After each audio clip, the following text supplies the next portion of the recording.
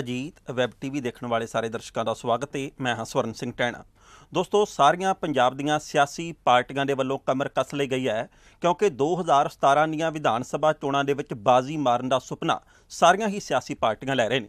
ਪਰ ਜੇਕਰ ਅਸੀਂ ਗੱਲ ਕਰੀਏ ਸਰਦਾਰ ਜਗਮੀਤ ਸਿੰਘ ਬਰਾੜ ਹੋਰਾਂ ਦੀ ਜਿਹੜੇ ਲੰਮਾ ਸਮਾਂ ਕਾਂਗਰਸ ਪਾਰਟੀ ਦੇ ਵਿੱਚ ਵਿਚਰੇ ਨੇ ਵੱਖ-ਵੱਖ ਅਹੁਦਿਆਂ ਦੇ ਉੱਤੇ ਤੇ ਕੁਝ ਦਿਨ ਪਹਿਲਾਂ ਹੀ ਉਹਨਾਂ ਦਾ ਇਸ ਪਾਰਟੀ ਦੇ ਨਾਲੋਂ ਤੋੜ ਵਿਛੋੜਾ ਹੋਇਆ ਏ ਤਾਂ ਕਈ ਤਰ੍ਹਾਂ ਦੇ ਸਵਾਲ ਜ਼ਿਹਨ ਦੇ ਵਿੱਚ ਪੈਦਾ ਹੋਣ ਲੱਗਦੇ ਨੇ। ਸਾਡੇ ਸਟੂਡੀਓ ਦੇ ਵਿੱਚ ਜਗਮੀਤ ਸਿੰਘ ਬਰਾੜ ਜੀ ਪਹੁੰਚੇ ਨੇ।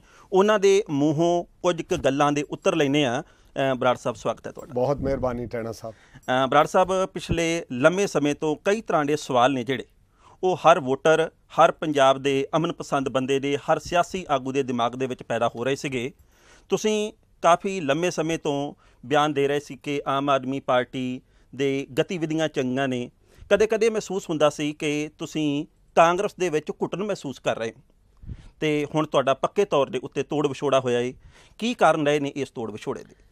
ਦੇਖੋ ਕਾਂਗਰਸ ਪਾਰਟੀ ਜਿਨ੍ਹਾਂ ਦੀ ਮੈਨੂੰ ਸੇਵਾ ਕਰਨ ਦਾ ਪਾਰਟੀ 'ਚ ਰਹਿਣ ਦਾ ਔਰ ਪਾਰਟੀ ਨੇ ਵੀ ਮੇਰੇ ਤੇ ਹਮੇਸ਼ਾ ਜਦ ਵੀ ਕਦੇ ਮੌਕਾ ਆਇਆ ਮੈਨੂੰ ਰੈਕਗਨਾਈਜ਼ ਕੀਤਾ ਲੇਕਿਨ ਇੰਨੀ ਸੇਵਾ ਤੋਂ ਬਾਅਦ ਮੈਨੂੰ ਬਿਨਾ ਨੋਟਿਸ ਦਿੱਤਿਆਂ ਬਿਨਾ ਕੋਈ ਐਕਸਪਲੇਨੇਸ਼ਨ ਕਾਲ ਕੀਤਿਆਂ ਬਿਨਾ ਮੈਨੂੰ ਬੁਲਾਇਆ ਮੈਨੂੰ ਪਾਰਟੀ ਚੋਂ ਪ੍ਰਾਇਮਰੀ ਮੈਂਬਰਸ਼ਿਪ ਤੋਂ ਐਕਸਪੈਲ ਕੀਤਾ। ਕਿਤੇ ਨਾ ਕਿਤੇ ਇਹਦੇ ਵਿੱਚ ਇੱਕ ਝੂਠ ਬੋਲਿਆ ਗਿਆ ਪਾਰਟੀ ਆਲਾ ਕਮਾਨ ਕੋਲੇ ਕੈਪਟਨ ਅਮਰਿੰਦਰ ਸਿੰਘ ਜੀ ਵੱਲੋਂ। ਉਹਨਾਂ ਨੇ ਕਿਹਾ ਕਿ ਜਗਮੀਤ ਸਿੰਘ ਬਰਾਰ 13 ਤਾਰੀਖ ਨੂੰ ਵਿਸਾਖੀ ਵਾਲੇ ਦਿਨ ਆਮ ਆਦਮੀ ਪਾਰਟੀ ਸ਼ਾਮਲ ਹੋ ਰਹੇ ਹੈ। ਇਸ ਕਰਕੇ ਉਹਨਾਂ ਨੂੰ ਪਾਰਟੀ 'ਚੋਂ ਬਰਖਾਸਤ ਕਰ ਦਿੱਤਾ ਜਾਏ। ਨਾ ਹੀ ਮੈਂ ਸ਼ਾਮਲ ਹੋਇਆ ਨਾ ਹੀ ਮੇਰਾ ਕੋਈ ਇਰਾਦਾ ਸੀ ਤੇ ਨਾ ਹੀ ਕਿਸੇ ਵੱਲੋਂ ਮੈਨੂੰ ਸੱਦਾ ਆਇਆ ਸੀ ਤੇ ਨਾ ਹੀ ਮੈਂ ਕੋਈ ਤਾਲਮੇਲ ਉਹਨਾਂ ਨਾਲ ਕੀਤਾ ਸੀ। ਹਾਂ ਇਹ ਗੱਲ ਬਿਲਕੁਲ ਇੱਕ ਤਲਖ ਹਕੀਕਤ ਹੈ। ਕਿ ਮਾਗੀ ਦੇ ਪਵਿੱਤਰ ਤਿਉਹਾਰ ਤੇ ਆਮ ਆਦਮੀ ਪਾਰਟੀ ਦਾ ਇੱਕ ਬਹੁਤ ਵੱਡਾ ਇਕੱਠ ਮੁਕਤਸਰ ਸਾਹਿਬ ਵਿਖੇ ਹੋਇਆ ਔਰ ਉਹ ਦੂਸਰੀਆਂ ਪਾਰਟੀਆਂ ਨਾਲੋਂ ਪੰਜ ਗੁਣਾ ਸੀ ਤੇ ਮੈਂ ਉਹ ਟਵੀਟ ਕੀਤਾ ਦੁਨੀਆ ਦੇ ਸਾਹਮਣੇ ਕਿ ਮੇਰੇ ਇਤਿਹਾਸਕ 40 ਮੁਕਤਿਆਂ ਦੀ ਮਾਈ ਭਾਗੋ ਔਰ ਭਾਈ ਮਹਾ ਸਿੰਘ ਦੀ ਧਰਤੀ ਤੇ ਐਡਾ ਵੱਡਾ ਕਦੇ ਇਕੱਠ ਨਹੀਂ ਹੋਇਆ ਔਰ ਕਦੇ ਵੀ ਕਿਸੇ ਰਾਸ਼ਟਰ ਦੇ ਨੇਤਾ ਨੇ ਇੰਨੇ ਲੋਕਾਂ ਨੂੰ ਸੰਬੋਧਨ ਨਹੀਂ ਕੀਤਾ। ਸ਼ਾਇਦ ਉਸ ਗੱਲ ਨੂੰ ਪਾਰਟੀ ਨੇ ਆਪਣੇ ਜ਼ਿਹਨ ਵਿੱਚ ਰੱਖਿਆ ਔਰ ਬੁਰਾ ਬਣਾਇਆ। ਔਰ one of the reasons of my expulsion ਜਿਵੇਂ ਕਹਿੰਦੇ, ਇੱਕ ਕਾਰਨ ਮੈਨੂੰ ਪਾਰਟੀ ਚੋਂ ਬਾਹਰ ਭੇਜਣ ਦਾ ਸ਼ਾਇਦ ਇਹ ਵੀ ਹੈ। ਇਹਦੇ ਚੋਂ ਇੱਕ ਕਾਰਨ ਹੋਇਆ। ਪਰ ਕਾਰਨ ਤਾਂ ਕਈ ਹੋਰ ਵੀ ਹੋਣਗੇ ਕਿ ਤੁਹਾਡੀ ਕੈਪਟਨ ਅਮਰਿੰਦਰ ਸਿੰਘ ਦੇ ਨਾਲ ਤਾਲਮੇਲ ਦੀ ਕਿਸੇ ਕਾਰਨ ਕਰਕੇ ਘਾਟ ਹੈ ਉਸ ਤੋਂ ਪਹਿਲਾਂ ਪ੍ਰਤਾਪ ਸਿੰਘ ਬਾਜਵਾ ਜਦੋਂ ਪੰਜਾਬ ਪ੍ਰਦੇਸ਼ ਕਾਂਗਰਸ ਕਮੇਟੀ ਦੇ ਪ੍ਰਧਾਨ ਸੀ, ਉਹਨਾਂ ਦੇ ਨਾਲ ਵੀ ਕੁਝ ਕੁ ਵਿਚਾਰਧਾਰਕ ਮਤਭੇਦ ਦੀਆਂ ਖਬਰਾਂ ਸਮੇਂ-ਸਮੇਂ ਤੇ ਪੈਦਾ ਹੋਈਆਂ ਕਿ ਇੱਕ ਕਾਰਨ ਹੀ ਸੀ ਜਾਂ ਕਈ ਹੋਰ ਕਾਰਨ ਵੀ ਸੀ। ਸਰਨ ਜੀ ਟਣਾ ਸਾਹਿਬ ਬਹੁਤ ਤੁਹਾਡਾ ਦਿਲਚਸਪ ਔਰ ਡੂੰਘਾ ਸਵਾਲ ਔਰ ਬਹੁਤ ਅੱਛਾ ਪ੍ਰਸ਼ਨ ਹੈ। ਮੁੱਦਿਆਂ ਤੇ ਆਧਾਰਿਤ ਪਿਛਲੇ 35 40 ਸਾਲਾਂ ਤੋਂ ਜਦ ਮੈਂ ਪਾਰਲੀਮੈਂਟ 'ਚ 92 'ਚ ਪਹਿਲੀ ਵਾਰੀ ਇਲੈਕਟ ਹੋਇਆ ਤਾਂ ਉਸ ਵੇਲੇ ਪੰਜਾਬ ਅੰਦਰ ਬੜੀ ਖੜੌਤ ਸੀ। ਉਸ ਖੜੌਤ ਨੂੰ ਤੋੜਨ ਲਈ ਮੈਂ 84 ਦੇ ਦੰਗਿਆਂ ਦੀ ਪੰਜਾਬ ਦੇ ਪਾਣੀਆਂ ਦੀ ਪਹਿਲੀ ਤਕਰੀਰ ਹੈ ਜਿਹੜੀ ਸਤਲੁਜ ਜਮਨਾ ਲਿੰਕ ਨਹਿਰ ਦੇ ਵਿਰੋਧ 'ਚ। ਉਹ 29 ਅਪ੍ਰੈਲ 1994 ਨੂੰ ਹੋਈ ਔਰ ਮੈਂ ਪੰਜ ਵੱਡੇ ਐਕਸਪਰਟ ਕੋਟ ਕਰਕੇ ਉੱਥੇ ਪੰਜਾਬ ਦੇ ਪਾਣੀਆਂ ਦੇ ਹਿੱਤਾਂ ਦੇ ਇੱਕ ਸਧਾਰਨ ਦਰ ਦੇ ਕੂਕਰ ਪੰਜਾਬ ਦੇ ਹੋਣ ਨਾਤੇ ਔਰ ਪਹਿਰਾਦਾਰ ਦੇ ਹੋਣ ਨਾਤੇ ਮੈਂ ਉੱਥੇ ਆਵਾਜ਼ ਬੁਲੰਦ ਕੀਤੀ। ਪਾਰਟੀ ਨੇ ਮੈਨੂੰ ਉਦੋਂ ਵੀ ਐਕਸਪਲੇਨੇਸ਼ਨ ਕਾਲ ਕੀਤੀ। ਨਾਲ ਦੀ ਨਾਲ ਪੰਜਾਬ ਦੀ ਰਾਜਨੀਤਿਕ ਸਮੱਸਿਆ ਨਹੀਂ ਨਾਲ ਦੀ ਨਾਲ ਪੰਜਾਬ ਦੀ ਲਾਅ ਐਂਡ ਆਰਡਰ ਦੀ ਸਮੱਸਿਆ ਨਹੀਂ ਮੈਂ ਕਿਹਾ ਕਿ ਜੋ ਸਰਦਾਰ ਬੇਅੰਤ ਸਿੰਘ ਜੀ ਉਸ ਵੇਲੇ ਕਹਿੰਦੇ ਸੀ ਮੇਰਾ ਥੋੜਾ ਉਹਨਾਂ ਨਾਲ ਵਿਚਾਰਕ ਮਤਭੇਦ ਸੀ। ਇਸ ਲਈ ਵਿਚਾਰਕ ਮਤਭੇਦ ਹੋਏ ਅਦਰਵਾਈਜ਼ ਨਿੱਜੀ ਤੌਰ ਤੇ ਮੇਰੇ ਇਹਨਾਂ ਨੇਤਾਵਾਂ ਨਾਲ ਹਮੇਸ਼ਾ ਚੰਗੇ ਸੰਬੰਧ ਰਹੇ ਨੇ। ਜਦ ਵੀ ਪੰਜਾਬ ਤੇ ਮੇਰੀ ਸੋਚ ਮੁਤਾਬਕ ਮੈਂ ਆਪਣੀ ਸੋਚ ਨਾਲ ਪੰਜਾਬ ਦੇ ਹਿੱਤਾਂ ਦੀ ਤਿਲਫੁਲ ਪੂਰਤੀ ਦੇ ਲਈ ਕੁਝ ਜਦੋਂ ਗੱਲਾਂ ਕਰਦਾ ਸੀ ਉਹ ਕਈ ਵਾਰ ਪਾਰਟੀ ਨੂੰ ਜਿਵੇਂ ਮਿਗ ਕ੍ਰੈਸ਼ਸ ਦਾ ਇੱਕ ਬੜਾ ਵੱਡਾ ਮੁੱਦਾ ਪਾਰਲੀਮੈਂਟ ਚ ਆਇਆ ਡਿਫੈਂਸ ਦਾ। ਜੀ, ਜੀ। 200 ਪਾਇਲਟ ਹਿੰਦੁਸਤਾਨ ਦਾ 25 25 ਸਾਲ ਦੇ ਨੌਜਵਾਨ ਕ੍ਰੈਸ਼ ਦੇ ਵਿੱਚ ਮਾਰੇ ਜਾਂਦੇ ਸੀ। ਮੈਂ ਉਹਦੀ ਖੋਜ ਕੀਤੀ। ਉਹਦੇ ਤੇ ਹੀ ਫਿਲਮ ਬਣੀ ਹੈ ਬਾਅਦ ਚ ਰੰਗ ਦੇ ਬਸੰਤੀ ਦਾ ਜਿਹੜਾ ਬਾਅਦ ਦਾ ਪਾਰਟ ਹੈ ਉਹ ਥਰਡ ਵਰਲਡ ਕੰਟਰੀਜ਼ ਤੋਂ ਪੁਰਜੇ ਲੈ ਕੇ ਉਹਨਾਂ ਜਹਾਜ਼ਾਂ 'ਚ ਪਾਏ ਜਾਂਦੇ ਸੀ ਔਰ ਉੱਡਣ ਸਾਰ ਜੋਧਪੁਰ ਤੋਂ ਉੱਡਿਆ ਜਹਾਜ਼ ਜਾਂ ਹਲਵਾਰੇ ਤੋਂ ਉੱਡਿਆ ਜਾਂ ਬਠਿੰਡੇ ਤੋਂ ਉੱਡਿਆ ਜਾਂ ਕਿਲੀ ਦੇ 에ਅਰਪੋਰਟ ਤੋਂ ਉੱਡਿਆ 에ਅਰਫੀਲਡ ਤੋਂ ਤੇ ਉਹ ਕ੍ਰੈਸ਼ ਹੋ ਜਾਂਦਾ ਸੀ। ਉਹਦੇ 'ਚ ਪਤਾ ਲੱਗਿਆ ਕਿ ਕਰਪਸ਼ਨ ਹੋਈ ਹੈ ਵੱਡੀ ਪੱਧਰ। ਜਿਵੇਂ ਅੱਜ ਇੱਕ ਵੱਡਾ ਸਕੈਂਡਲ ਜਿਹੜਾ ਹੈਲੀਕਾਪਟਰ ਸਕੈਂਡਲ ਸਾਹਮਣੇ ਆਇਆ। ਬੇਸ਼ੱਕ ਆਪੋਜੀਸ਼ਨ ਦਾ ਤਰਕ ਜਾਂ ਦੂਸਰੀ ਰੂਲਿੰਗ ਪਾਰਟੀ ਦਾ ਤਰਕ ਇੱਕ ਦੂਜੇ ਨੂੰ ਨੀਵਾਂ ਦਿਖਾਉਣਾ ਹੋ ਸਕਦਾ ਹੈ ਮੈਨੂੰ ਉਹਦੇ ਬਾਰੇ ਅਜੇ ਗੰਭੀਰਤਾ ਨਾਲ ਇਹ ਜਾਣਕਾਰੀ ਨਹੀਂ।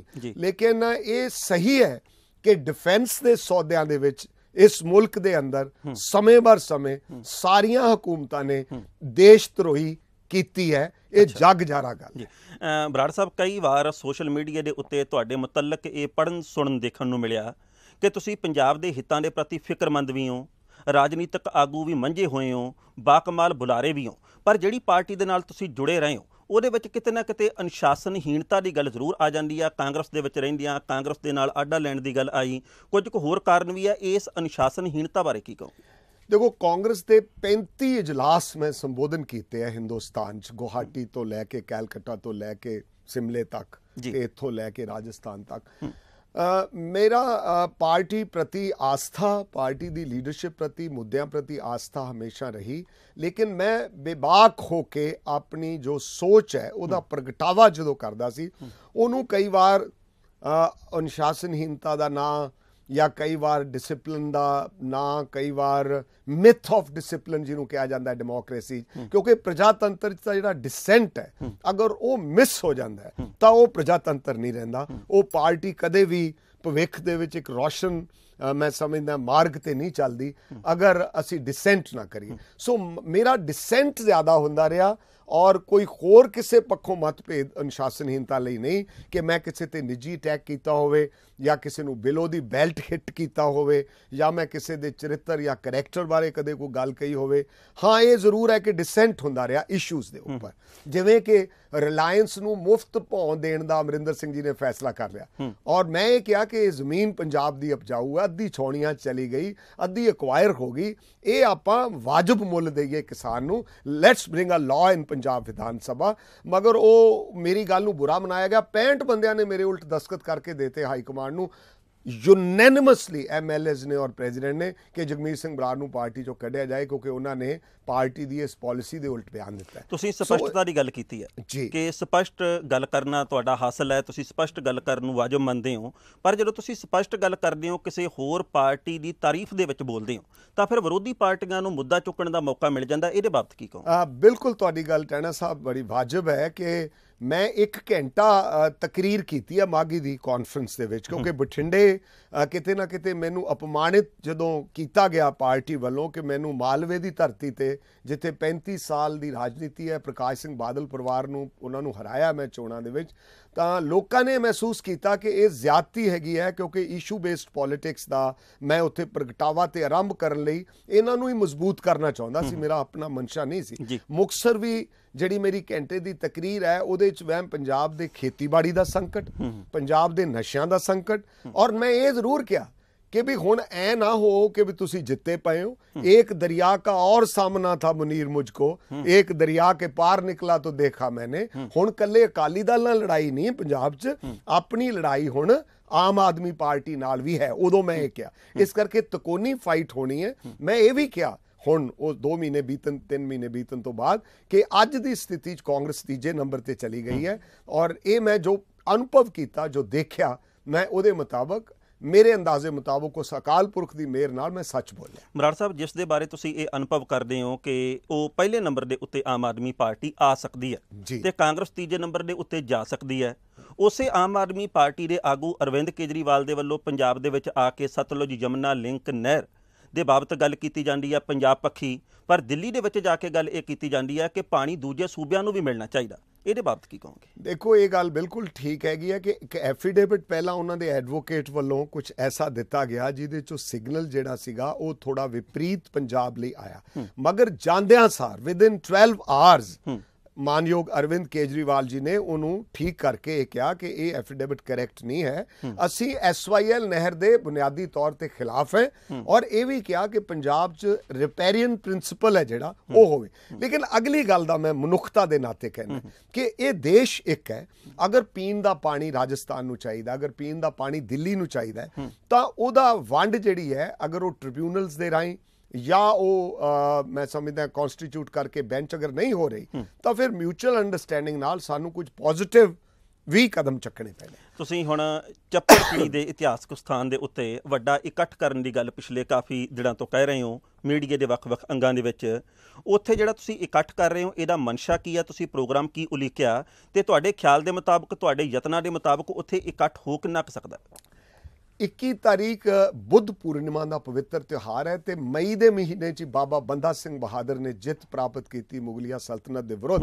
ਕਿਹਾ ਜਾਂਦਾ ਹੈ ਪ੍ਰੋਫੈਸਰ ਹਰੀਰਾਮ ਗੁਪਤਾ ਦੀ ਟਰਾਂਸਫਾਰਮੇਸ਼ਨ ਆਫ ਸਿੱਖੀਜ਼ਮ 'ਚ ਲਿਖਿਆ 25 ਸਾਲ ਦੀ ਖੋਜ ਤੋਂ ਬਾਅਦ ਕਿ ਅਗਰ ਇੱਕ ਜਿੱਤ ਹੋਈ ਹੈ ਕਦੇ ਪੰਜਾਬੀਅਤ ਦੀ ਅਗੇਂਸਟ ਦਾ ਮੁਗਲ ਸਲਤਨਤ ਸਾਰੀ ਸੂਬਾ ਸਰਹੰਦ ਜਿਹੜਾ 1 ਲੱਖ ਫੌਜ ਲੈ ਕੇ ਆਇਆ ਤਾਂ ਬਾਬਾ ਬੰਦਾ ਸਿੰਘ ਬਹਾਦਰ ਨੇ ਕਲਗੀਧਰ ਪਾਤਸ਼ਾਹ ਦੇ ਆਸ਼ੇ ਨੂੰ ਪੂਰਾ ਕੀਤਾ ਔਰ ਉੱਥੇ ਜੰਗ ਦੇ ਵਿੱਚ ਜਿਹੜਾ 20000 ਬੰਦਾ ਉਹ ਲੱਖ ਨਾਲ ਲੜ ਗਿਆ ਔਰ ਵਜ਼ੀਦ ਖਾਨ ਦਾ ਸਿਰ ਕੱਟ ਕੇ ਚੱਪੜਚਿੜੀ ਦੇ ਮੈਦਾਨਾਂ ਦੇ ਵਿੱਚ ਔਰ ਸਰਹੰਦ ਦੀ ਇੱਟ ਨਾ ਇੱਟ ਬਾਬਾ ਜੀ ਨੇ ਖੜਕਾਈ।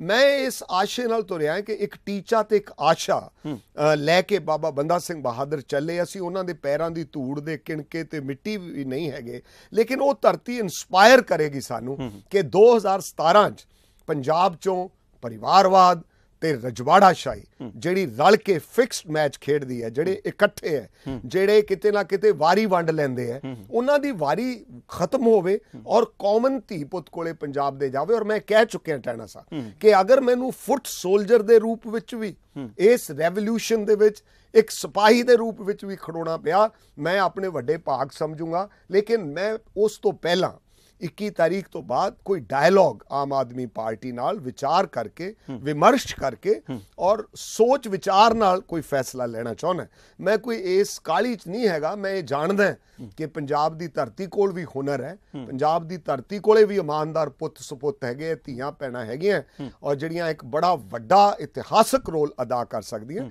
ਸੋ ਮੈਂ ਉਹਨਾਂ ਨਾਲ ਗੱਲਬਾਤ ਕਰਾਂਗਾ ਔਰ ਮੇਰੇ ਖਿਆਲ ਪ੍ਰਜਾਤੰਤਰ ਦਾ ਸਾਰ ਅੰਸ਼ ਹੀ ਹੈ। ਆਮ ਆਦਮੀ ਪਾਰਟੀ ਵੀ ਇਹ ਸਮਝਦੀ ਹੈ। ਕਿ ਪ੍ਰਜਾਤੰਤਰ ਦਾ ਜਿਹੜਾ ਕਰਕਸ ਹੈ, ਉਹ ਵਿਚਾਰ ਹੈ, ਉਹ ਡਿਬੇਟ ਹੈ, ਉਹ ਅੰਡਰਸਟੈਂਡਿੰਗ ਹੈ, ਉਹ ਇੱਕ ਦੂਜੇ ਦੀ ਗੱਲ ਨੂੰ ਸਮਝਣਾ, ਕਿਉਂਕਿ ਮਸਲਾ ਇਹ ਨਹੀਂ ਕਿ ਸਰਕਾਰ 2017 ਚ ਕਿਹਦੀ ਬਣਦੀ। ਮਸਲਾ ਇਹ ਹੈ ਕਿ ਪੰਜਾਬ ਨੂੰ ਦਰਪੇਸ਼ ਚੁਣੌਤੀਆਂ ਐਡੀਆਂ ਜੀ। ਹੈ ਕਿ ਪਰ ਕੈਪੀਟਾ ਇਨਕਮ ਸਾਡੀ ਜਿਹੜੀ ਇੱਕ ਪ੍ਰਤੀ ਜੀ ਆਮਦਨੀ ਹੈ ਉਹ ਹੁਣ ਉਹਨਾਂ ਸੂਬਿਆਂ ਨਾਲੋਂ ਘਟ ਗਈ ਹੈ ਜਿਨ੍ਹਾਂ ਨੂੰ ਬਿਮਾਰੂ ਸਟੇਟਾਂ ਕਿਹਾ ਜਾਂਦਾ ਸੀ। ਹਿੰਦੁਸਤਾਨ ਦੀਆਂ ਅੱਜ ਖੇਤੀਬਾੜੀ ਦਾ ਭਾਰੀ ਸੰਕਟ ਹੈ ਪੌਣੇ 2 ਲੱਖ ਕਰੋੜ ਦਾ ਕਰਜ਼ਾ ਹੈ ਫ੍ਰੈਂਡਲੀ ਗਵਰਨਮੈਂਟ ਨਹੀਂ ਹੋਏਗੀ ਦਿੱਲੀ 'ਚ ਪੰਜਾਬ ਦਾ ਮਸਲਾ ਹੱਲ ਕਿਵੇਂ ਕਰਨਾ ਹੈ ਅੱਗੇ ਜਾ ਕੇ ਜਿਵੇਂ ਲੋਕ ਕਹਿ ਰਹੇ ਆ, ਇਹ ਬੜੀ ਫਜ਼ੂਲ ਦੀ ਗੱਲ ਹੈ ਜਦੋਂ ਰਾਜਨੀਤਿਕ ਆਗੂ ਕੋਈ ਇਹ ਗੱਲ ਕਹਿੰਦਾ ਹੈ ਕਿ ਮੈਂ ਨਸ਼ਿਆਂ ਨੂੰ ਦਸਾਂ ਦਿਨਾਂ 'ਚ ਖਤਮ ਕਰ ਦੂੰਗਾ ਕੋਈ ਕਹਿੰਦਾ ਮੈਂ ਤਿੰਨਾਂ ਮਹੀਨਿਆਂ 'ਚ ਖਤਮ ਕਰ ਦੂੰਗਾ ਮੇਰੀ ਇੱਕ ਲੋਕ ਹਿੱਤ petition Punjab Haryana high court 3 ਸਾਲ ਤੋਂ ਚੱਲ ਰਹੀ ਹੈ। 13 ਵਾਰ ਚੀਫ ਜਸਟਿਸ ਨਾਲ ਬਹਿਸ ਹੋ ਚੁੱਕੀ ਹੈ ਔਰ ਸੀਬੀਆਈ ਇਨਕੁਆਇਰੀ ਅਜੇ ਤੱਕ ਆਰਡਰ ਨਹੀਂ ਹੋਈ। ਜਿੰਨਾ ਚਿਰ ਪ੍ਰੋਪਰ ਇਨਕੁਆਇਰੀ ਫਰਮ ਦਾ ਹਾਈਐਸਟ ਇਨਵੈਸਟੀਗੇਟਿੰਗ ਏਜੰਸੀ ਕੰਟਰੀ ਦੀ ਔਰ ਚੀਫ ਜਸਟਿਸ ਉਹਦੀ ਦੇਖ ਰੇਖ ਕਰਨ ਔਰ ਪੰਜਾਬ ਦੇ ਐਨਜੀਓਜ਼ ਜਿਹੜੇ ਆ ਉਹ ਸਾਹਮਣੇ ਆਉਣ ਉਹਨਾਂ ਚਿਰ ਇਹ ਨਸ਼ਿਆਂ ਦਾ ਕੰਮ ਖਤਮ ਹੋਣਾ ਬੜਾ ਮੁਸ਼ਕਲ ਕਾਰਜ ਹੈ ਔਰ ਕਿਤੇ ਨਾ ਕਿਤੇ ਨੈਕਸਸ ਹੈ between corrupt bureaucrat corrupt police ਅਫਸਰ ਕਰਪਟ ਪੋਲੀਟੀਸ਼ੀਅਨ ਔਰ ਕਰਪਟ ਕ੍ਰਾਸ ਦਾ ਬਾਰਡਰ ਜਿਵੇਂ ਇਹਨਾਂ ਨੇ ਲੋਕਾਂ ਦੇ ਨੈਕਰੋ ਟੈਰਰਿਜ਼ਮ ਵੀ ਇਹਦੇ ਨਾਲ ਰਿਲੇਟਡ ਇਸ ਕਰਕੇ ਗੰਭੀਰ ਮੁੱਦਾ ਹੈ ਬਹੁਤ ਔਰ ਪੰਜਾਬ ਦੀ 70% ਜਵਾਨੀ ਦੀ ਤਬਾਹੀ ਜਿਹੜੀ ਕੰਨ ਤੇ ਲਿਖਿਆ ਹੋਇਆ ਹੈ ਐਫੀਡੇਵਿਟ ਦਿੱਤੇ ਹੈ ਸਰਕਾਰ ਨੇ। ਸੁਖਬੀਰ ਸਿੰਘ ਬਾਦਲ ਗਲਤ ਕਹਿੰਦੇ ਆ ਜਦੋਂ ਇਹ ਗੱਲ ਕਰਦੇ ਆ ਕਿ ਐਵੇਂ ਸਾਡੀ ਬੇਇੱਜ਼ਤੀ ਕਰਨ ਨੂੰ ਕਹਿੰਦੇ ਆ ਅਸੀਂ ਨਸ਼ੇੜੀ ਹੋ ਗਏ ਗਲਤ ਗੱਲ ਹੈ ਇਹ ਨਹੀਂ ਹੈ। ਇਹ ਐਨਜੀਓਜ਼ ਨੇ ਖੋਜ ਕਰ ਕਰਕੇ ਪਿੰਡਾਂ 'ਚ ਜਾ ਜਾ ਕੇ ਉਹਦੀ ਸ਼ਰਾਬ ਵੀ ਸ਼ਾਮਲ ਹੈ। ਦੇਖੋ ਉਹ ਨਸ਼ਿਆਂ ਦੇ ਵਿੱਚ ਕੱਲੀ ਸਮੈਕ ਚਿੱਟਾ ਪੁੱਕੀ ਫੀਮ ਜਾਂ ਕੋਈ ਡਰੱਗਸ ਜਾਂ ਜਿਹੜੀਆਂ ਹੁੰਦੀਆਂ ਆਹ ਦੁਕਾਨਾਂ ਤੇ ਵਿਕਦੀਆਂ ਹੈਗੀਆਂ ਜਿਹਨਾਂ ਨੂੰ ਸਿੰਥੈਟਿਕ ਡਰੱਗ ਕਿਹਾ ਜਾਂਦਾ। ਉਹੀ ਨਹੀਂ ਉਹਦੇ ਸ਼ਰਾਬ ਵੀ ਸ਼ਾਮਲ ਕੀਤੀ ਹੈ ਖੋਜ ਦੇ ਵਿੱਚ। ਉਹ ਉਸ ਨਤੀਜੇ ਦੇ ਤੌਰ ਤੇ 70% ਕਿਹਾ ਜਾਂਦਾ ਹੈ ਕਿ ਪੰਜਾਬ ਜਿਹੜਾ ਉਹ ਨਸ਼ਿਆਂ ਦਾ ਸ਼ਿਕਾਰ ਹਾਂ ਬਰਾੜ ਸਾਹਿਬ ਤੁਸੀਂ ਜਦੋਂ ਵੀ ਬਹੁ ਗਿਣਤੀ ਸਵਾਲਾਂ ਦੇ ਜਵਾਬ ਦਿੰਦੇ ਹੋ ਤਾਂ ਆਮ ਆਦਮੀ ਪਾਰਟੀ ਦਾ ਜ਼ਿਕਰ ਤੁਹਾਡੇ ਅੰਦਰੋਂ ਆਪ ਮੁਹਾਰੇ ਬਾਹਰ ਨਿਕਲਦਾ ਤਾਂ ਇਹਦਾ ਕੀ ਅਰਥ ਕੱਢਿਆ ਜਾਵੇ ਕਿ ਤੁਸੀਂ ਭਵਿੱਖ ਦੇ ਵਿੱਚ ਆਮ ਆਦਮੀ ਪਾਰਟੀ ਵੱਲ ਜਾ ਸਕਦੇ ਹੋ? ਮੈਂ ਸਮਝਦਾ ਕਿ ਜਿਹੜਾ ਇਨਕਲਾਬ ਦਿੱਲੀ ਦੇ ਅੰਦਰ ਲੈ ਕੇ ਆਏ ਮਾਨਯੋਗ ਅਰਵਿੰਦ ਕੇਜ ਮੇਰਾ ਇੱਕ ਪੋਲੀਟੀਕਲ ਐਕਟਿਵਿਸਟ ਹੋਣ ਨਾਤੇ ਕਿਉਂਕਿ ਜਦੋਂ ਆਹ ਕੇਸ ਬਣਿਆ ਜਵਾਹਰ ਲਾਲ ਨਹਿਰੂ ਯੂਨੀਵਰਸਿਟੀ 'ਚ ਕਨਈਆ ਕੁਮਾਰ ਤੇ। ਮੈਨੂੰ ਆਪਦੇ ਦਿਨ ਯਾਦ ਆ ਗਏ ਮੇਰੇ ਤੇ 75 ਦੇ ਵਿੱਚ 120 ਬੀ ਦਾ ਬਗਾਵਤ ਦਾ ਕੇਸ ਪਹਿਲੀ ਵਾਰ ਸਟੂਡੈਂਟ ਮੂਵਮੈਂਟ ਪ੍ਰਕਾਸ਼ ਸਿੰਘ ਜੀ ਬਾਦਲ ਨੇ ਮੇਰੇ ਵਿਰੁੱਧ ਦਰਜ ਕੀਤਾ 77 'ਚ ਕੀਤਾ। ਮੈਂ ਮਹਿਸੂਸ ਕਰਦਾ ਹੈਗਾ ਕਿ ਆਮ ਆਦਮੀ ਪਾਰਟੀ ਨੇ ਇੱਕ ਵੱਡਾ ਇਨਕਲਾਬ ਲਿਆਂਦਾ ਹੈ ਔਰ ਇੱਕ ਚੇਂਜ ਲਿਆਂਦੀ ਹੈ ਇੰਡੀਅਨ ਪੋਲੀਟੀਕਲ ਸਿਸਟਮ ਦੇ ਵਿੱਚ ਔਰ ਪੰਜਾਬ ਦੇ ਵਿੱਚ ਐਡਾ ਵੱਡਾ ਸਪੋਰਟ ਔਰ ਸਮਰਥਨ ਜਿਹੜਾ ਉਹਨਾਂ ਨੂੰ ਮਿਲ ਰਿਹਾ ਹੈ। ਇਹਦਾ ਕੁਝ ਕਾਰਨ ਇਹ ਵੀ ਹੈ ਕਿ ਦੋਨਾਂ ਪਾਰਟੀਆਂ ਤੋਂ ਲੋਕ ਬਹੁਤ ਪਰੇਸ਼ਾਨ ਹੈ। ਔਰ ਲੋਕ ਇਹ ਚਾਹੁੰਦੇ ਹੈ ਕਿ ਇਸ ਚੇਂਜ ਦੇ ਵਿੱਚ ਕੋਈ ਪੰਜਾਬ ਦੀ ਬਿਹਤਰੀ ਨਿਕਲੇ। ਤੋਂ ਮੈਂ ਇਸ ਕਰਕੇ ਉਹਨਾਂ ਦੇ ਯੋਗ ਕੰਮਾਂ ਦੀ ਤਾਰੀਫ ਕਰਦਾ ਜਿਵੇਂ ਕਿ ਮੈਂ ਬਹੁਜਨ ਸਮਾਜ ਪਾਰਟੀ ਦੀ ਵੱਡੀ ਆਗੂ ਕੁਮਾਰੀ ਮਾਇਆਵਤੀ ਔਰ ਸਾਹਿਬ ਬਾਬੂ ਕਾਂਸ਼ੀਰਾਮ ਜੀ ਨਾਲ ਵੀ ਕੰਮ ਕੀਤਾ ਕਾਂਗਰਸ ਦਾ ਸਮਝੌਤਾ ਕਰਾਉਣ ਵੇਲੇ ਮੈਂ ਮੁੱਖ ਰੋਲ ਅਦਾ ਕੀਤਾ। ਉਹ ਜ਼ਾਤ ਪਾਤ ਦੇ ਛੂਤ ਛਾਤ ਦੇ ਸਭ ਤੋਂ ਵੱਡਾ ਆਸ਼ਾ ਅਗਰ ਗੁਰੂ ਗੋਬਿੰਦ ਸਿੰਘ ਮਹਾਰਾਜ ਦਾ ਇਨ ਗਰੀਬ ਸਿੱਖਣ ਕੋ ਦਿਉ ਪਾਤਸ਼ਾਹੀ ਉਹ ਬਹੁਜਨ ਸਮਾਜ ਪਾਰਟੀ ਦੇ ਵੀ ਨੇੜੇ ਹੈ। ਇਸ ਕਰਕੇ ਮੇਰਾ ਇਹ ਕਹਿਣਾ ਇਹ ਜ਼ਰੂਰੀ ਨਹੀਂ ਕਿ ਮੈਂ ਆਮ ਆਦਮੀ ਪਾਰਟੀ ਜਾਂ ਬਹੁਜਨ ਸਮਾਜ ਪਾਰਟੀ ਸ਼ਾਮਲ ਹੋਣਾ ਲੇਕਿਨ ਮੈਂ ਜ਼ਰੂਰ ਸਟੱਡੀ ਕਰਦਾ ਕਿ ਵੱਖ-ਵੱਖ ਆਗੂ ਖੱਬੀਆਂ ਪਾਰਟੀਆਂ 'ਚ ਬੜੇ ਯੋਗ ਆਗੂ ਹੈ। ਔਰ ਮੈਂ ਸਮਝਦਾ ਕਿ ਜਿਹੜੀ ਮੂਵਮੈਂਟ ਪੰਜਾਬ ਦੇ ਵਿੱਚ ਦੇਸ਼ ਭਗਤੀ ਦੀ ਔਰ ਉਸ ਤੋਂ ਬਾਅਦ ਜਿਹੜੀਆਂ ਕਿਰਤੀ ਕਿਸਾਨ ਮੂਵਮੈਂਟ ਹੈ ਛੇ ਲਹਿਰਾਂ ਦੇ ਉੱਤੇ ਪੰਜਾਬੀਅਤ ਦਾ ਮਹਾਕੁੰਭ ਟੈਣਾ ਸਾਹਿਬ ਇਹ ਆਧਾਰਿਤ ਹੈ। ਜਿਹੜੀਆਂ ਲਹਿਰਾਂ ਪੰਜਾਬੀਆਂ ਨੇ ਗਦਰੀ ਬਾਬੇ ਕੌਣ ਸਨ? ਉਸ ਤੋਂ ਬਾਅਦ ਸਿੰਘ ਸਭਾ ਲਹਿਰ ਕੂਕਾ ਲਹਿਰ ਆਰੀਆ ਸਮਾਜ ਲਹਿਰ ਕਿਉਂਕਿ ਸ਼ਹੀਦ ਆਜ਼ਮ ਭਗਤ ਸਿੰਘ ਔਰ ਉਹਨਾਂ ਦਾ ਪਰਿਵਾਰ ਆਰੀਆ ਸਮਾਜ ਲਹਿਰ ਇੱਕ ਸੁਧਾਰ ਲਹਿਰ ਸੀ ਬਹੁਤ ਵੱਡੀ। ਤੇ ਨਾਲ ਦੀ ਨਾਲ ਕਿਰਤੀ ਕਿਸਾਨ ਲਹਿਰ ਔਰ ਬੱਬਰ ਅਕਾਲੀ ਲਹਿਰ ਔਰ ਅਕਾਲੀ ਲਹਿਰ। ਇਹ ਜਿਹੜੀਆਂ 6 ਲਹਿਰਾਂ ਇਹਨਾਂ ਦੇ ਜਿਹੜੇ ਵਾਰਿਸ ਹੈ ਉਹ ਕਿਤੇ ਨਾ ਕਿਤੇ ਇਸ ਵੇਲੇ ਭੁੱਲੇ ਬਿਸਰੇ ਗੀਤ ਬਣ ਚੁੱਕੇ ਆ ਉਹ ਪਰਿਵਾਰ ਤੇ ਉਹ ਪਿੰਡ ਤੇ ਉਹ ਮਹਾਨ ਤੀਰਥ ਜਿਹੜੇ ਅਸਥਾਨ ਹੋਣੇ ਚਾਹੀਦੇ ਸੀ ਪੰਜਾਬ ਦੀ ਧਰਤੀ ਤੇ। ਉਹਨਾਂ ਪਿੰਡਾਂ 'ਚ ਅਜੇ ਤਾਈਂ ਕੋਈ ਵਜ਼ੀਰ ਹੀ ਨਹੀਂ ਗਿਆ, ਚਾਹੇ ਉਹ ਕਾਂਗਰਸ ਦਾ ਚਾਹੇ ਉਹ ਅਕਾਲੀ ਦਾ ਮੈਂ ਉਦਾਹਰਨ ਦੇਣਾ ਚਾਹੁੰਦਾ ਡਾਇਰੈਕਟ ਉਦਾਹਰਨ, ਕਾਂਸ਼ੀ ਰਾਮ ਜੀ ਮੰਡੋਲੀ, ਜੋਸ਼ੀ ਸਾਹਿਬ, ਗਦਰ ਮੂਵਮੈਂਟ ਦੇ 1916 ਚ ਫਾਂਸੀ ਲੱਗੇ। ਮੈਂ ਉਹਨਾਂ ਦੇ ਪਿੰਡ ਮੰਡੋਲੀ ਗਿਆ, ਮੁਰਿੰਡੇ ਦੇ ਕੋਲੇ। ਖਰੜ ਦੇ ਨੇੜੇ ਇਹਨਾਂ ਦੇ ਵਿਚਕਾਰ ਚੰਡੀਗੜ੍ਹ ਦੇ ਨਜ਼ਦੀਕ ਹੈ। ਮੈਂ ਉਹਨਾਂ ਦੇ ਜਦੋਂ ਘਰ ਗਿਆ, ਉਹ ਆਂਦੇ ਜੀ, ਅੱਜ ਤੱਕ ਸਾਡੇ ਪਿੰਡ ਕੋਈ ਮੰਤਰੀ ਨਹੀਂ ਆਇਆ। ਨਾ ਕਾਂਗਰਸ ਦਾ ਨਾ ਅਕਾਲੀ ਦਲ ਦਾ। ਮੈਂ ਕਿਹਾ ਇਹ ਝੂਠ ਹੈ ਇਹ ਹੋ ਨਹੀਂ ਸਕਦਾ। ਲੇਕਿਨ ਮੈਂ ਕਨਫਰਮ ਕੀਤਾ ਉਹਨਾਂ ਦੇ ਬਜ਼ੁਰਗ ਹੋ ਚੁੱਕੇ ਪੜਪੋਤਰੇ ਤੋਂ। ਕਾਸ਼ੀ ਰਾਮ ਜੋਸ਼ੀ ਦੇ ਦਿਓ। ਉਹਨੇ ਮੈਨੂੰ ਕਿਹਾ ਬਰਾੜ ਸਾਹਿਬ ਇਹ ਸਹੀ ਗੱਲ ਹੈ ਜਗਮੀਤ ਸਿੰਘ ਜੀ ਇੱਥੇ ਕੋਈ ਮੰਤਰੀ ਨਹੀਂ ਆਇਆ। ਅੱਛਾ। ਮਤਲਬ ਇਹ ਕਿੱਡੀ ਅਫਸੋਸਨਾਕ ਗੱਲ ਹੈ। ਕਿ ਗਦਰੀ ਬਾਬਿਆਂ ਦਾ ਜਿਨ੍ਹਾਂ ਦਾ ਐਡਾ ਵੱਡਾ ਮਹਾਨ ਯੋਗਦਾਨ ਹੈ ਉਹਨਾਂ ਨੂੰ ਕੋਈ ਇਹ ਵੀ ਪੁੱਛਣ ਨੂੰ ਤਿਆਰ ਨਹੀਂ ਕਿ ਉਹਨਾਂ ਦੇ ਪਿੰਡ ਦੇ ਨਾਂ ਦੇ ਸਕੂਲ ਕੋਈ ਰੱਖ ਦੇ ਜਾਂ ਉਸ ਪਿੰਡ ਨੂੰ ਕੋਈ ਸਹੂਲਤ ਮਿਲ ਜਾਏ ਜਾਂ ਉਸ ਪਿੰਡ ਦੇ ਲੋਕ ਮਾਣ ਮਹਿਸੂਸ ਕਰਨ ਕਿ ਉਸ ਬਾਬੇ ਨੇ ਆਪਦੇ ਘਰ ਦੀ ਕੁਰਕੀ ਕਰਵਾ ਕੇ ਸਭ ਕੁਝ ਕੀਤਾ ਤੇ ਉਹਨੂੰ ਕੋਈ ਪੁੱਛਦਾ ਕੁਝ ਦਿਨ ਪਹਿਲਾਂ ਮੀਡੀਆ ਦੇ ਵਿੱਚ ਫੋਟੋ ਇੱਕ ਵਾਇਰਲ ਹੋਈ ਸੀ ਕਿ ਤੁਸੀਂ ਵੀਰ ਦਵਿੰਦਰ ਸਿੰਘ ਦੇ ਨਾਲ ਘੁੱਟ ਕੇ ਗਲਵੱਕੜੀ ਪਾਈ ਹੋਈ ਹੈ। ਜੀ। ਇਕੱਠੇ ਮਿਲ ਕੇ ਚੱਲਣ ਦਾ ਭਵਿੱਖ ਦੇ ਵਿੱਚ ਇਰਾਦਾ ਜਾਂ ਕੋਈ ਹੋਰ ਯੋਜਨਾ ਬਣਾਈ ਹੈ? ਨਹੀਂ ਸਰਦਾਰ ਵੀਰ ਦਵਿੰਦਰ ਸਿੰਘ ਪੰਜਾਬ ਦੇ ਇੱਕ ਬੜੇ ਮੈਚੁਰਡ ਆਗੂ ਨੇ। ਉਹਨਾਂ 'ਚ ਬਹੁਤ ਸਤਿਗੁਰਾਂ ਨੇ ਗੁਣ ਬਖਸ਼ੇ ਨੇ। ਮੇਰਾ ਉਹਨਾਂ ਨਾਲ ਮੇਰੇ ਵੱਡੇ ਭਰਾ ਨੇ। ਮੇਰੇ ਨਾਲੋਂ ਮਤਲਬ ਅਸੀਂ ਐਮਰਜੈਂਸੀ 'ਚ ਵੀ ਇੱਕ ਵਾਰੀ ਇਕੱਠੇ ਗ੍ਰਿਫਤਾਰ ਹੋਏ ਉਦੋਂ ਬਾਅਦ ਜੇਲ੍ਹਾਂ 'ਚ ਵੀ ਰਹੇ ਇਸ਼ੂਜ਼ ਤੇ ਵੀ ਲੜਦੇ ਰਹੇ। ਲੇਕਿਨ ਰਾਜਨੀਤਿਕ ਫੈਸਲਾ ਉਹਨਾਂ ਦਾ ਘਰ ਮੈਂ ਉਹਨਾਂ ਨੂੰ ਕਹਿਣ ਗਿਆ ਸੀ ਕਿ ਇਹ ਤਿੰਨ ਮੁੱਦੇ ਆ ਜਿਹੜੇ। ਉਹ ਕਹਿੰਦੇ ਮੈਂ ਇਹਨਾਂ ਨਾਲ 100% ਸਹਿਮਤ ਹਾਂ ਕਿ ਨਸ਼ਿਆਂ ਤੇ ਪਾਬੰਦੀ ਖੇਤੀਬਾੜੀ ਦਾ ਸੰਕਟ ਕਿਸਾਨ ਖੁਦਕਸ਼ੀਆਂ ਔਰ ਜਿਹੜਾ ਤੁਹਾਡਾ ਟੀਚਾ ਹੈ ਰਜਵਾੜਾ ਸ਼ਾਹੀ ਤੇ ਪਰਿਵਾਰਵਾਦ ਦੇ ਵਿਰੁੱਧ ਮੈਂ ਜਗਮੀਤ ਸਿੰਘ ਬਰਾੜ ਤੁਹਾਡੇ ਇਹਨਾਂ ਮੁੱਦਿਆਂ ਤੇ ਨਾਲ। ਮੈਂ ਉਦੋਂ ਹੀ ਕਹਿ ਦਿੱਤਾ ਸੀ। ਮੈਂ ਕਿਹਾ ਬਾਕੀ ਸਰਦਾਰ ਵੀਰਦਿੰਦਰ ਸਿੰਘ ਜਿਹੜਾ ਰਾਜਨੀਤਿਕ ਫੈਸਲਾ ਹੈ। ਕਿ ਤੁਸੀਂ ਕਿਸ ਪ੍ਰਕਾਰ ਚੱਲਣਾ ਕਿਸ ਰਾਹ ਤੇ ਚੱਲਣਾ ਉਹਦੇ 'ਚ ਮੈਂ ਤੁਹਾਨੂੰ ਗਾਈਡ ਨਹੀਂ ਕਰ ਸਕਦਾ। ਉਹ ਤੁਹਾਡੀ ਡਿਸੀਜਨ ਲੇਕਿਨ ਅੱਜ ਤੁਹਾਡਾ ਛੋਟਾ ਭਰਾ ਤੁਹਾਨੂੰ ਇਹ ਕਹਿਣ ਆਇਆ ਹੈ ਕਿ ਅੱਜ ਲੋੜ ਹੈ ਆਪਾਂ ਪੰਜਾਬ ਦੇ ਇਹਨਾਂ ਮੁੱਦਿਆਂ ਤੇ ਰਲ ਕੇ ਲੜਾਈ ਲੜੀ ਜੀ। ਤੇ 2017 ਦੀਆਂ ਵਿਧਾਨ ਸਭਾ ਚੋਣਾਂ ਦੇ ਮੱਦੇਨਜ਼ਰ ਸਭ ਨੇ ਤਿਆਰੀ ਖਿੱਚੀ ਹੋਈ ਹੈ। ਤੁਸੀਂ ਕੀ ਮੰਨਦੇ ਹੋ ਇਸ ਵਾਰ ਪੰਜਾਬ ਦੇ ਰਾਜਨੀਤਿਕ ਸਮੀਕਰਨ? ਬੜਾ ਅੱਛਾ ਸਵਾਲ ਹੈ।